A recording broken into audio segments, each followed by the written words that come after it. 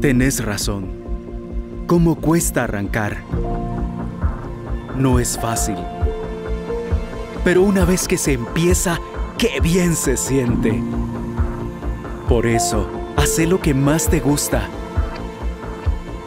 Porque por más rápido o lento que sea el proceso, al final es para vivir mejor.